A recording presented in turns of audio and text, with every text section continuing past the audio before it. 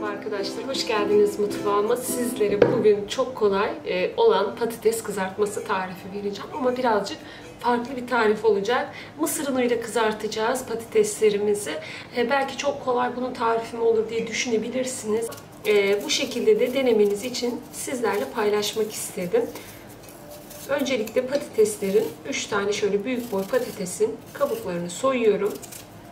Mısır unu ayrı bir lezzet veriyor. Hiç denemediyseniz muhakkak denemelisiniz. Önce kabuklarını soyayım.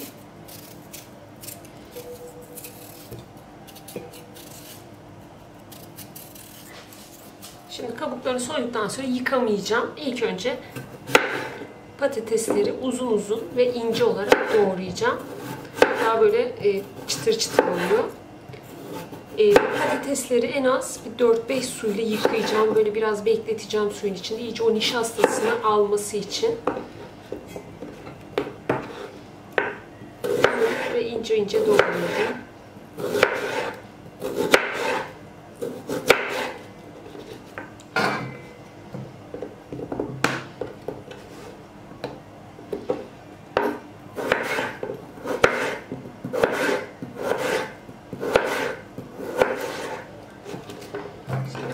Patatesin hepsini soydum, götürüyorum. İyice 3-4 suyla yıkıyorum. Böyle beyaz nişastası çıkana kadar yıkayın ve iyice süzdürün. Hiçbir şekilde suyu kalmasın.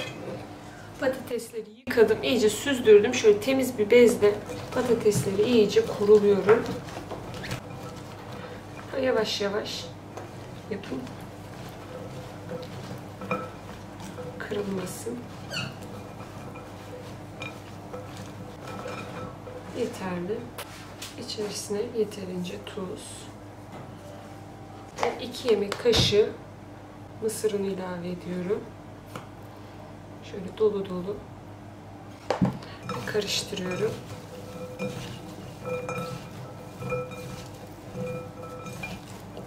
ocağın başına geçip yağımı iyice kızdırıp patatesleri kızartacağım. Kızartacağım tavayı ocağa aldım. İçerisine büyük bir bardakla sıvı yağ boşaltıyorum. Ocağın altını yakıyorum.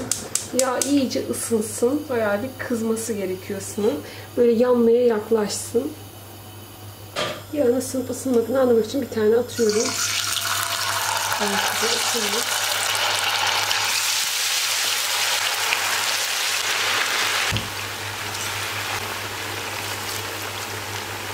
Şimdi iyice kızartıyorum. Kızaranları alacağım.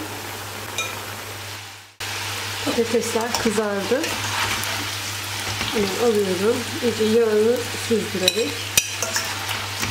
Gördüğünüz gibi böyle çıtır çıtır oldu.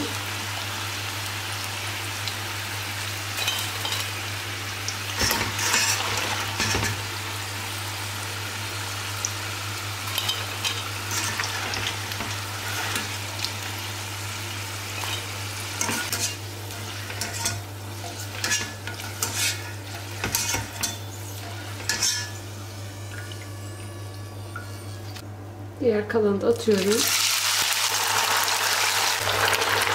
Beklerken biraz sulanıyor. Gayet normal. Bunları da kızartıp patateslerim hazır. Kızardı. Artık onları da alıyorum. İyice yağını süzdürüp öyle alın.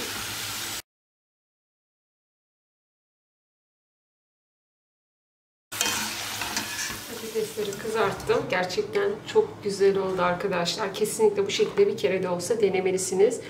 Böyle çıtır çıtır ve çok lezzetli oldu. Umarım sizler de denedikten sonra çok daha güzel sonuçlar alırsınız. Bir dahaki videolarda görüşmek üzere. Hoşçakalın.